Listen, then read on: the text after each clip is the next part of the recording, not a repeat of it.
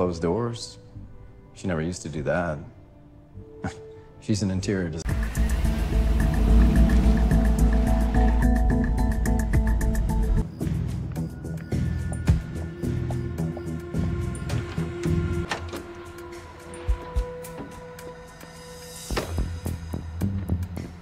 No one gets in if they're not on the list. Right. Who are you? Who the hell are you?